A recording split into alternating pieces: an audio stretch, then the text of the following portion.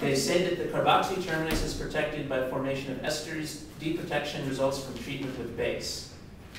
All that, so they just said in the book that you just use base to deprotect the, uh, the carboxy, ends, but you, looks like you should look that up again in your lecture notes.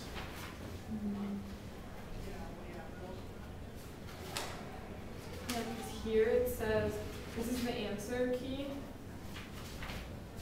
And so you can see they protected Boc, and on Right. that side CBZ and on this side.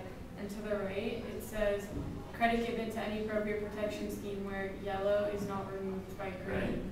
So they either made a mistake or we made a mistake, because they said they Right. were in yellow. Well, let- let's look up the uh, carboxy protecting groups in your notes again. So, where were the carboxy protecting groups in your notes? Mm. The page before. Oh, here you go, T, TFA, trifluoroacetic acid. So you definitely made a mistake. Okay, yeah, fair enough, so they should have used something else? Mock and TB. Or fennel. Or no, they should have just switched to the CBZ. Yeah, they could have made the NH one. You know how we put CBZ up there? They could have made that one Boc. Hmm.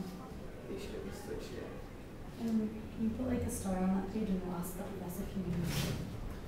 They could have just used one of these down here.